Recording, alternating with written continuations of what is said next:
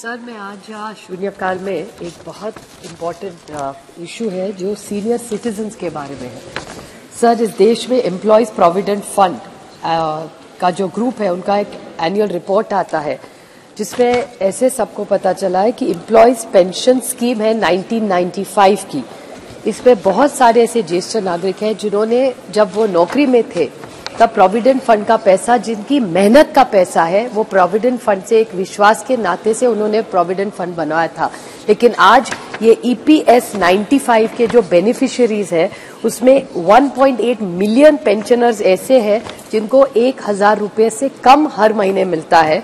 और सबसे ज़्यादा जो है, वो चार या पाँच हज़ार से ज़्यादा एक भी पेंशनर को पैसा नहीं मिलता। और एवरेज अगर इस पूरे वर्क सेक्टर का जो फोर्स है उसमें का अगर एवरेज निकले तो पंद्रह सौ रुपया ही ईपीएस e 95 को मिलता है। सर आप सोचिए, आज इतनी महँगाई है। और अगर कोई दादा, दादी या नाना, नानी, उनके छोटे से पोते या पोती को एक गिफ्ट भी देना चाहे उनके जन्मदिन पे तो पंद्रह सौ रुपया अगर उनको पूरे महीने की, उनकी हक की कमाई है, पूरा लाइफ उन्होंने बच्चों को बड़ा करने में किया, सारा पैसे बच्चों की सिखाई, घर लेने में डाल दिया। उसके बाद जब रिटायर होके अपनी मेहनत का जो हक मांग रहे, वो भी पंद्रह सौ रुपया। सर, आप सोचिए, पंद्रह सौ रुपया में एक रिटायर्ड आदमी कैसे जी सकता है?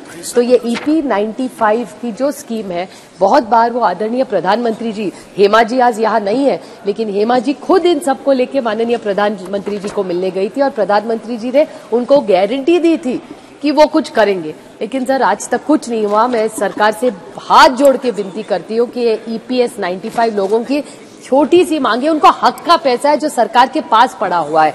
उनकी तीन ही मांगे है कि ये पूरा कैलकुलेशन ढंग से करे। पॉइंट नंबर वन जो स्पाउस होती है बीवी होती है अगर और या हस्बैंड भी होते हैं अगर दोनों में से एक पहले चले जाए तो उनका हक का पैसा उनको ठीक से मिलना चाहिए। और जो कॉस्ट ऑफ़ इंडेक्स है सर लिविंग है जो उनका हक का ईपीएस e 95 का पैसा है वो उनको ही मिलना चाहिए। सरकार उसको ना रखे वो उनका पैसा है जो सरकार ने गलत तरीके से रखा है। मैं हाथ जोड़ के इस सरकार को विनती करती हूँ कि आप गारंटी की सरकार बोलते हैं तो प्लीज़ हमारे इस सीनियर सिटीजन को जो गारंटी एक स्कीम नहीं दी थी उसको पूरा करें और जल्द से जल्द ये सीनियर सिटीजन को उनका हक का जो पेंशन का फंड है वो मिले। थैंक यू एसोसिएट स्लिप भेज दीजिए। Okay okay send your right now send your slip to जी जी जी जी जी।